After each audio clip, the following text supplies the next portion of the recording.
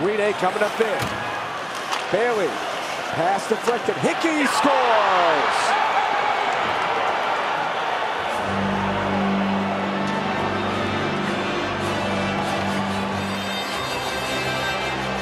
The Islanders win it in overtime.